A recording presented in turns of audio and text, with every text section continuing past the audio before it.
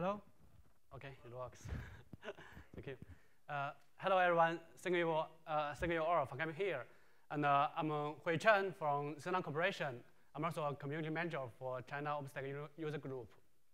Today, my topic is, uh, is uh, DevOps in OpenStack public cloud. So what's DevOps? And what does it look like of OpenStack public cloud? And um, DevOps is described as uh, in Wikipedia as a software method that uh, that, uh, that combine the uh, communication and uh, integrate of software developers and operators. And, but here, today, I'm not going to talk more about the software devel so, the development methodology of DevOps, but instead, I want just to answer some questions. Um, uh, for example, uh, what we have done in the past years for OpenStack and how do we operate a public, uh, OpenStack public cloud. And um, so uh, what does OpenStack public cloud look like? Uh, here is uh, some examples. HP Cloud is uh, the first and also the biggest uh, OpenStack public cloud totally is underlying it was totally based on OpenStack. And uh, Rackspace Cloud and uh, the Internet, AT&T, they are in uh, United States, InnoCloud in uh, European, and KT from uh, Korea. Uh, however, they never tell you how to operate their public cloud based on OpenStack, and uh, they never. And but uh, uh, Sina, as an internet company in China, we operate the first public cloud in China, and uh, we would like to share with you about how we implement our own public cloud. I hope you, uh, hope I will not, uh, let you down today. Uh, I have several topics. The first is um, changes about uh, how uh, changes in building uh, OpenStack public cloud, including network topology, and uh, security enhancement storage solution, and uh, identity integration, billing and monitoring, and dashboard improvement. The second, uh, section, uh, the second part is uh, uh, talking about how to operate a production OpenStack environment, including platform stack connection, automated deployment, and CI system. so there are there are so there are so many topics here. So and uh, oh, uh, also, the third part is uh, uh, talk about StackNav is a community OpenStack public cloud, which is initiated by Sina OpenStack team.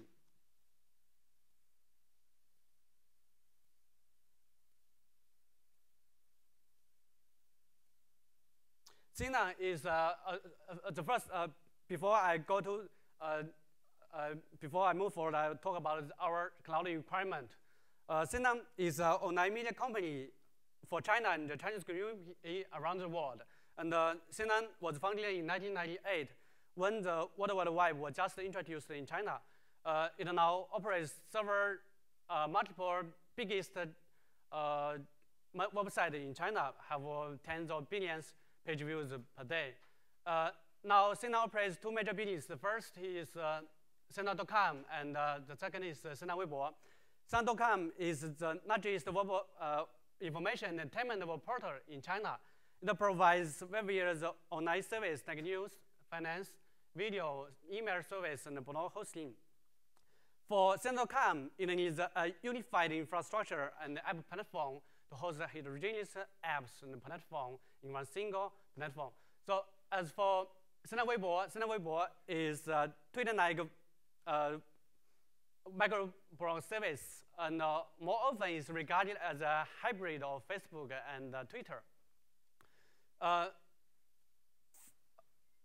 Weibo was launched in 2009. Uh, it, it, has experienced its uh, explosive growth in its early days. Now it has 350 million users. It's definitely the number one SNS social platform in China. And Weibo also has uh, huge influence on Chinese society because it uh, uh, speeds up the information flow or, and uh, protects the freedom of speech. Weibo also has an open platform. Uh, it wants to build a social ecosystem through its open API and its cloud environmental. Uh, I'm from the R&D center of Sina, and our responsibility is to build a reliable, highly scalable, and uh, secure cloud infrastructure to support our own business as well as some external customers, uh, especially for small companies and uh, startups. Uh, SinaCloud has uh, three different um, uh, products. The first is Sina App Engine. Sina App Engine is the uh, first and most popular PS platform in China, which launched in 2009. Uh, support, web application, support web application written by PHP, Python, and Java, and now has 250 thousand developers who have developed 380,000 apps running on SAE, which is a big business in China. And uh, the second is uh, Sina Cloud Market is the first cloud app market in China. Uh, is a cloud store based on SAE technology, which means it can lower the uh, price into, uh, uh, to a very low level. It was designed, uh, uh, uh App Engine is focused on web developers, while uh, Cloud mark, market is focused on ordinary users. Uh, Web Service is, is first OpenStack-based public as cloud in China. Uh, the rest of our slides, we will talk about this platform. First, uh, I, I, want to talk about our involvement in the community. Uh, from the beginning, when we began uh, launched our project, we are uh, deeply involved in the uh, community development. And um, in the first release, we uh, are ranked in uh, the top 10 list by change set or by bug fix. So let's check, uh, talk about challenges to build uh, OpenStack public cloud. Uh, first, uh, in our experience, to uh, deploy an OpenStack environment, the biggest um, the possibly the most challengeable uh, issues to the, is the networking.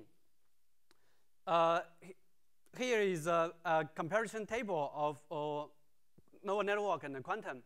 Before uh, Essex, we have only one choice, that is Nova Network. But now, first, we have another uh, alternative, quantum. So which is better for you and uh, which is better for public cloud? In the comparison table, we can see that uh, quantum uh, so, uh, support tuning and uh, SDN, but unfortunately it doesn't support multi-host and security group until now.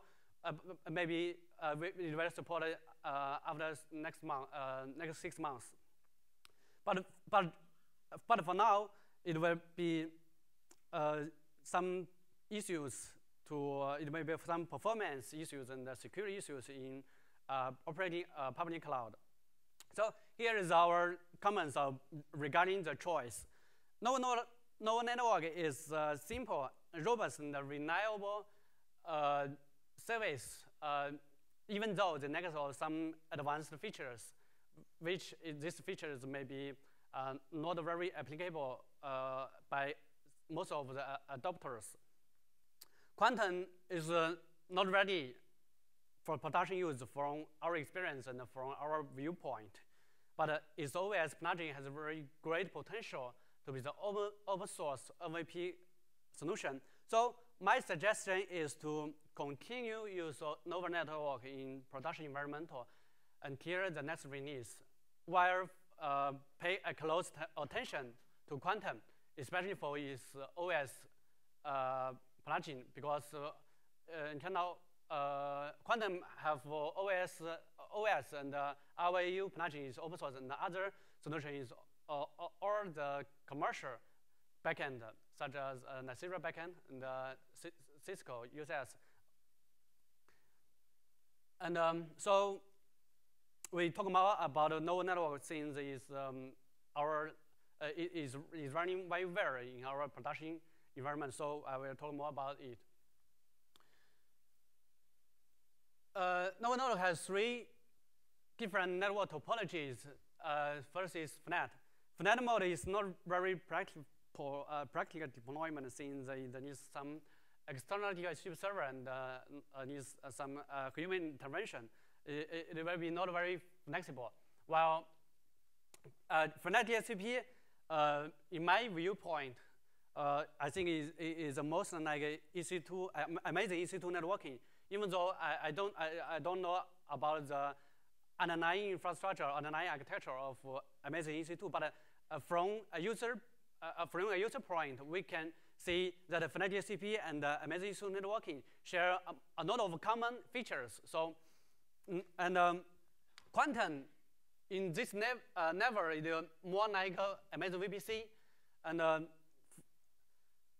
EC2 uh, Flat DHCP is, uh, basically uh, work like this. The virtual machine launched and it get an IP port from, the, from one single network pulse, which is very simple and easy to hack. Uh, now, Flat DHCP is widely used in public cloud and also uh, preferred topology in many scenarios, both for private and, and pub public cloud. VLAN manager is a little complex uh, from our uh, viewpoint. Uh, it needs some hardware config configuration, and I, I, I, am not very suggest to use VLAN manager, except you have very strong uh, isolation, uh, tenant isolation. Uh, here is some, uh, here is the real uh, network topology in our production environmental. Uh, I need a different from the official recommendation because we have done some customization.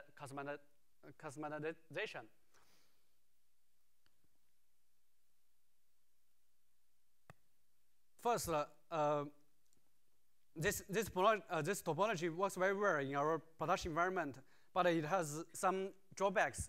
Uh, the most drawbacks is that uh, all the virtual machine is uh, in the same L2 layer, so it will be very hard for, for, for, for, for enlarge the, the scale of, of the virtual machines. So it may be a potential issue in this network. But uh, in, in, our production uh, environment, it supports uh, hundreds of physical servers. It, it, will be very okay in our production environment. And um, I, I should, for this uh, uh, diagram, I should write a very uh, long article to articulate our consideration and our trade-off to build such a to, to design such a topology. But I, I first, uh, I, I, talked about some basics. Um, from the pictures, we can see that it uh, has three different networks, while red lines represent the virtual machine network, and the black represents the management network, and the green management public network. Uh, you, you may notice that uh, virtual machine switch and uh, management switch has the same uplink to internal core router, uh, there may be some there may be dangerous for us because uh, in opposite environment we have a lot of uh, external users which is not be trusted. So uh, how to handle this security issue? We developed another. Uh, we have done some security enhancement. We developed a SBS filter.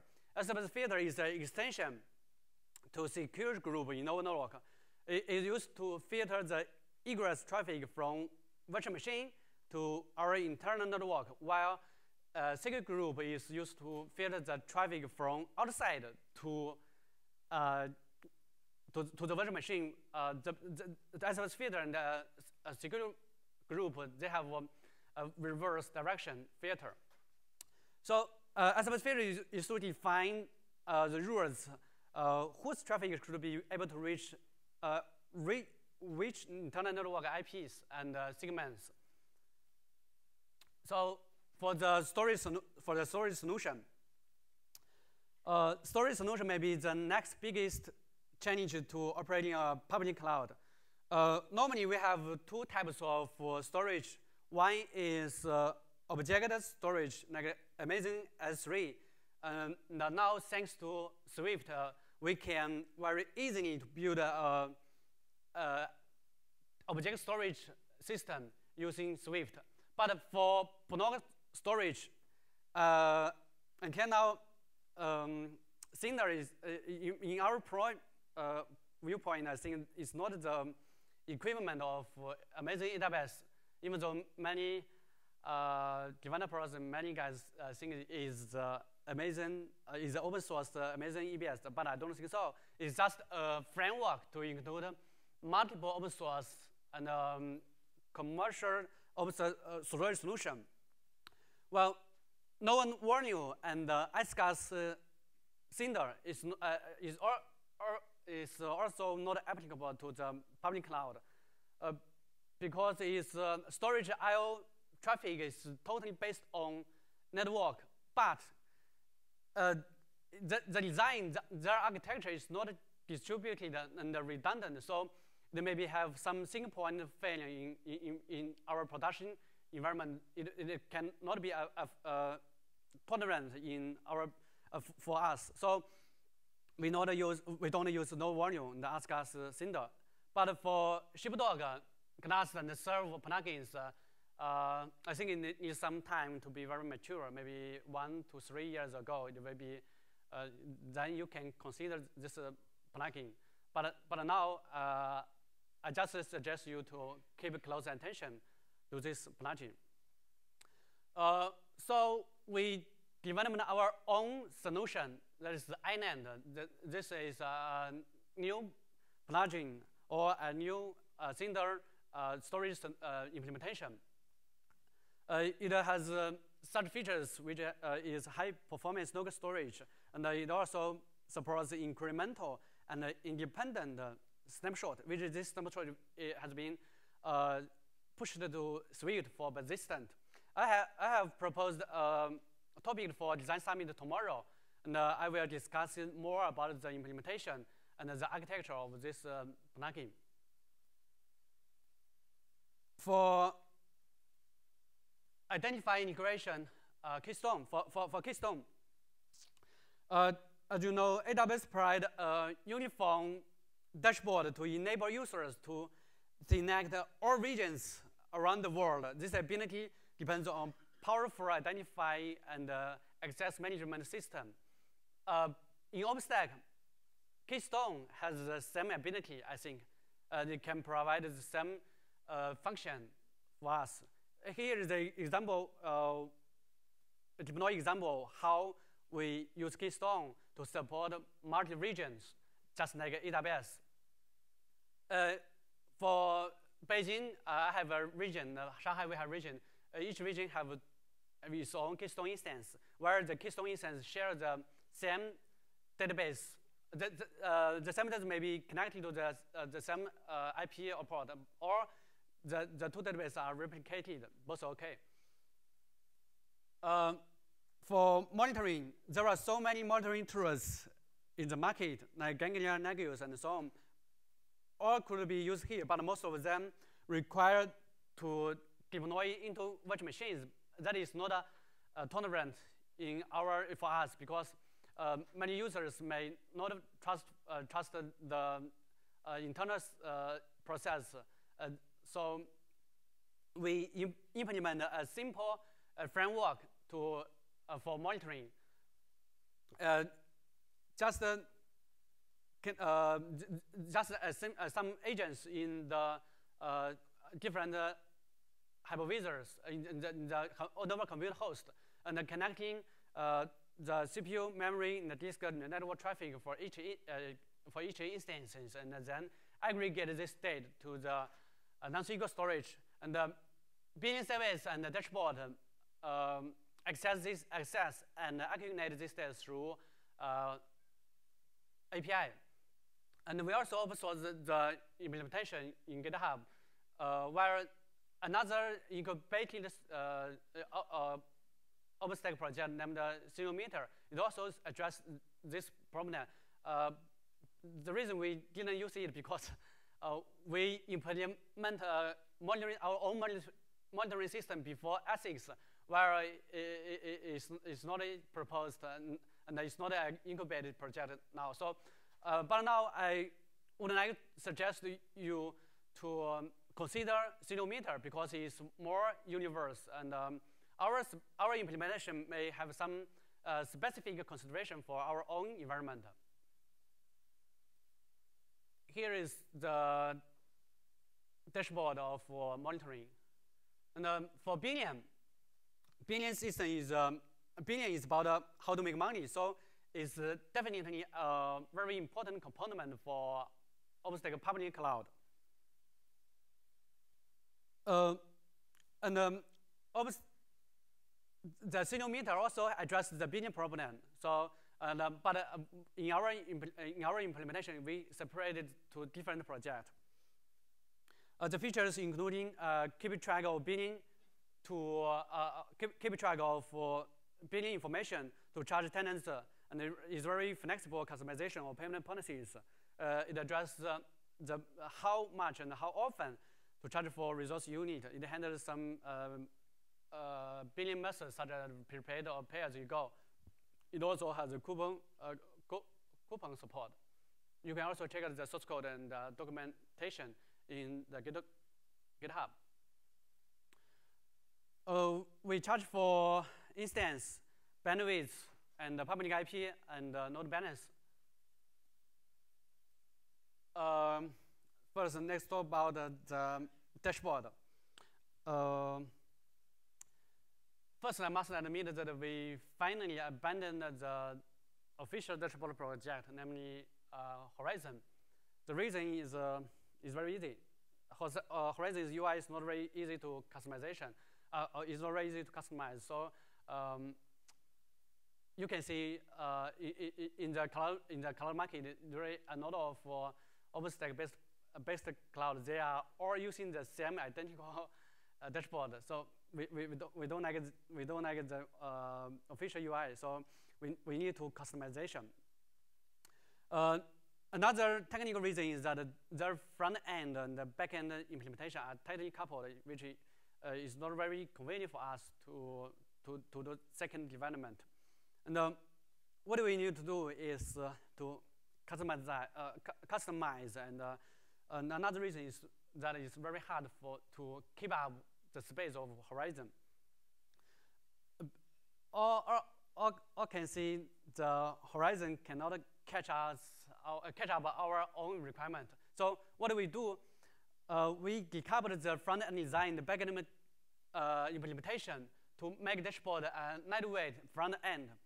Uh, the, the second thing, we separate the user console and the admin console. We have paid a lot of mention, uh, attention to uh, admin console uh, because for, for us, admin console is very uh, critical for operate the whole uh, cluster, the whole OpenStack environment. Uh, so this is the official dashboard. I can show uh, our own Im implementation.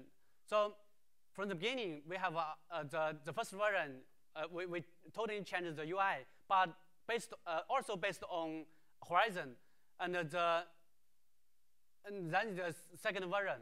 The second version is um, uh, a little like the AWS, but um, uh, until, uh, until then, it is also based on Horizon. But our latest dashboard is um, totally abandoned of Horizon developed by ourselves. So I will talk more about this, uh, some new features of uh, in, in, our dashboard. Uh, you can see the different square. each, each square means a virtual machine.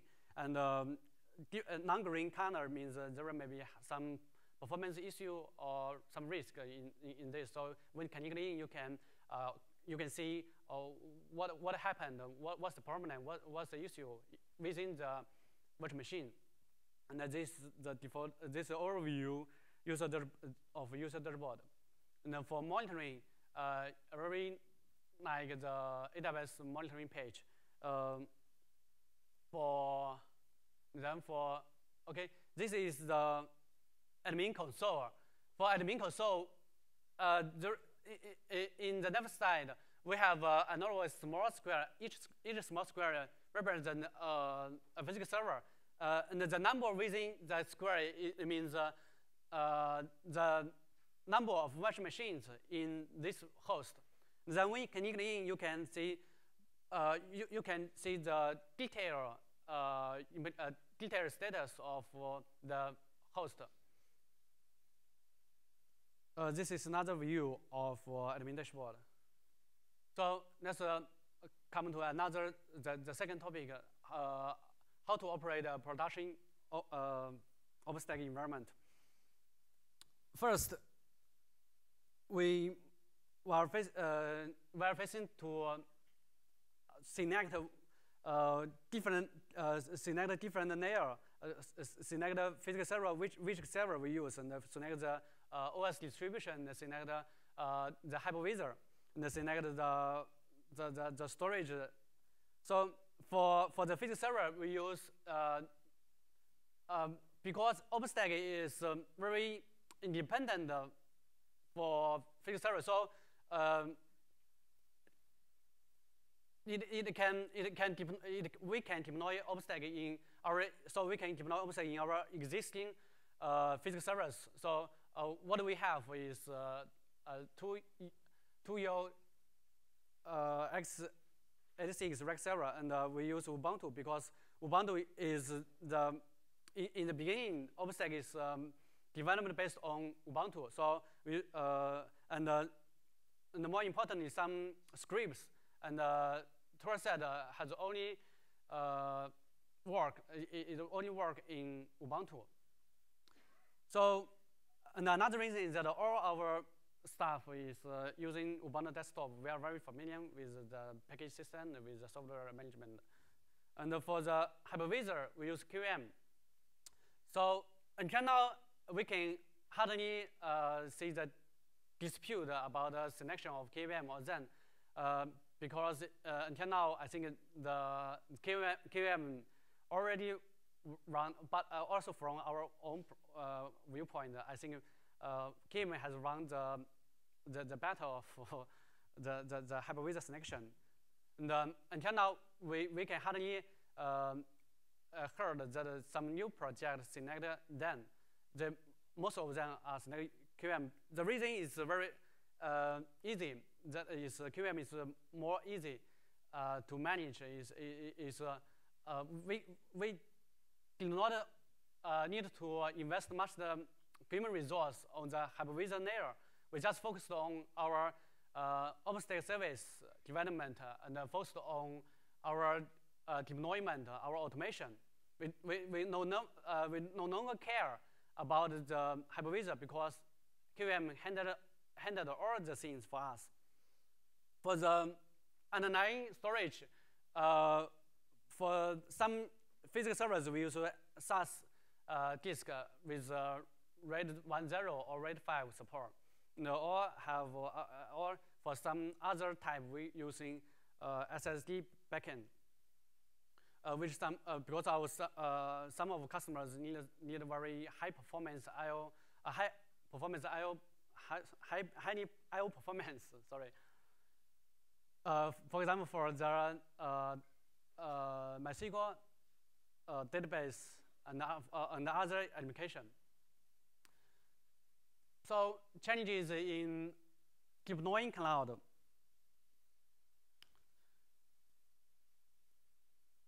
Uh, oh, uh, cloud I think in sense is a big data center, especially for public cloud. So the requirement is to provision large scale physical infrastructure in very few minutes, and um, as well as uh, the software deployment. The most importantly, we need the tools to orchestrate all the heterogeneous components, including the field servers, network devices, and uh, some other components which means uh, which is a very big challenge for, for us. And uh,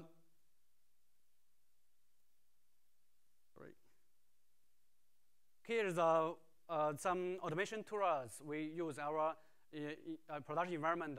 The next side is development tools. We use Git and Gitor, Gerrit. we use Git and Gitorious for the code hosting and for the version management. And we also use uh, DB repo uh, to build uh, the um, package for testing and for production environment. And uh, for the operation tools, um, we, we use the most, most two important, uh, I think uh, the, the, the, the, most important tool is uh, Foreman. Foreman is uh, used to deploy, uh, deploy OS from uh, on the bare metal uh, automatically, and uh, Puppet is, um, is, used, is used to deploy a service or to do system configuration upon the operating system. So uh, when the OpenStack class is ready, we uh, need, need some other tools. We use Zabbix to monitoring the physics service. Uh, we, we, I just said that we also have our own implementation, our own dashboard to uh, monitoring servers. And, uh, as, and uh, at the same time, we use some open source tools. Uh, here is our CI system. Uh, we use uh, we use Gerrit to do code review, and the the, the Jenkins was triggered by another events to do such as uh, packaging or to tell the users uh, your, your commit is fail or your commit is success. And um, I think th th this whole uh, CSI system is totally uh, from the communication, is, it, it's from the community. Why we use these tools? Because the community uses it. So we use it in our, for our team collaboration it is, uh, the, the, whole system is very, uh, is, is works very well in our employment. Uh, for project management, we use uh, uh, open source version Launchpad. Uh, we deploy the Launchpad in, in in-house and put all our internal project to our, in, our in-house notepad.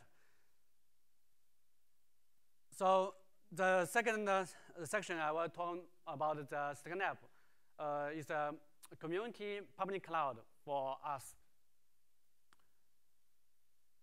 So uh, one, uh, one sentence to describe StackNav is uh, uh, a community-free OpenStack public cloud, more than just OpenStack sandbox. you mean, I mean that before uh, there is a, a TriStack project, which, which is um, uh, just uh, OpenStack sandbox and uh, maintained, maintained by the uh, community. But uh, for StackNav, it may have some different mission. So I will talk more about it.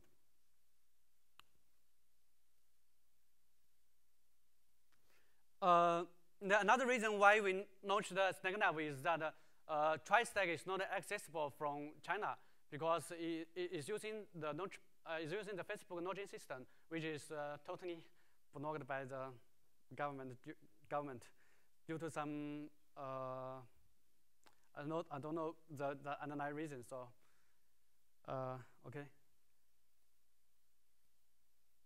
And uh, StackNav? Uh, not everyone has the opportunity to run an OpenStack public cloud when no resources, no users, no market, but uh, standard will change this. What does it mean? Uh, for all, uh, for many of us, uh, we most most of developers uh do development in-house or, or, build a trial system or just build a, a DevStack instance in, in the laptop or the, in one single uh, physical servers. But uh, most importantly, the developers uh, can, cannot uh, know the real, uh, the real experience of uh, the, the real experience of users. Uh, and the, the developers also didn't have the Chinese, given an opportunity to operate uh, online uh, OpenStack environment. Since it, often means um, a lot of investment. And even you have even you have uh, physics servers or you have resources, you, you can you can't get a lot, lot of users to try your product uh, platform. So uh, uh, Snap, StackNav has uh, three goals uh, for different users, uh, for different layers. For OpenStack users uh, who experience StackNav, they understand uh, what, uh, what exactly OpenStack is and what does it provide. And you, for users, it, can also develop applications on StackNav or using StackNav API. Um, which can build phase on OpenStack and the possi uh, possibility this, this user can be the uh, native adopters, uh, adopters of OpenStack uh, or, or OpenStack supporter. And uh, for OpenStack contributors or developers involved in StackNav, they can testing uh, patches on real production like environmental and get feedback from the users. That facilitates the development and the QA process. And also gains the experience from operating a StackNav without the risk of SLA because it is, it is free. And um, the developers also can have better understanding the requirement of OpenStack users or their potential customers.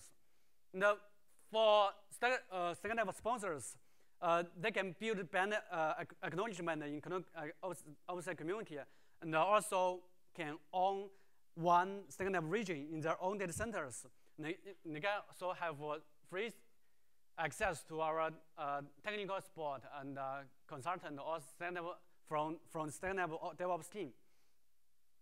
Uh, I want to emphasize one point that is uh, for, for uh, Stack sponsors who uh, sponsor physical servers, they can uh, deploy the one StackNav node in their own data center, which, mean, it, which means that you own all the resources and um, you can get the users from outside. And uh, uh, you also have support from, you, you, also have the free support from the DevOps team and uh, from the community. So how to join StackNav for Stack users is very easy. It's, uh, it's very easy. Just uh, go to StackNav. It's already online. You can access it and uh, register account. And without approval by the admin, and for OpenStack co contributors to join StackNav, uh, they can um, first you must persuade uh, their company to become a StackNav sponsor. Thus, you will have a StackNav region in your own data center, and you are the administrator of the StackNav. For OpenStack sponsors, uh, just uh, sign agreement with the StackNav OpenStack team, and the StackNav OpenStack team help you to build a StackNav environment, and then your region is listed in the StackNav portal. So you will get a lot of users from the, uh, uh, from the public.